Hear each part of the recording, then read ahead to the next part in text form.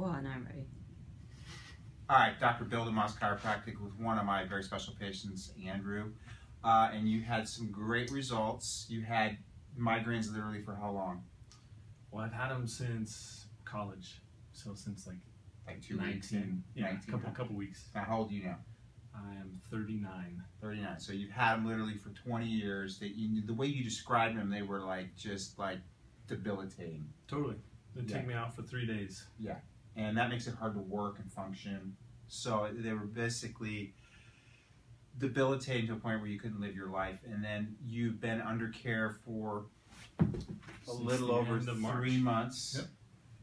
Uh, and tell us about your results. You, you've had one headache, I've had one in the whole time. So before I came to you, I and that was because we were out of town. I'm just going to mention that Dr. Joe and I were on a surf trip, and then we got back. I had to put them back together again.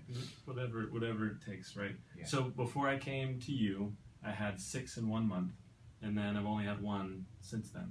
Okay. One in six months. How that math works. and I, I just can't go on surf trips anymore.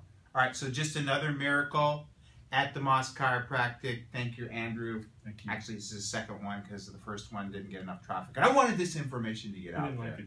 I loved it, but it was only that long. I know. It didn't really describe the, how it affected your life. All right, to the point. We're out. Love you. Bye.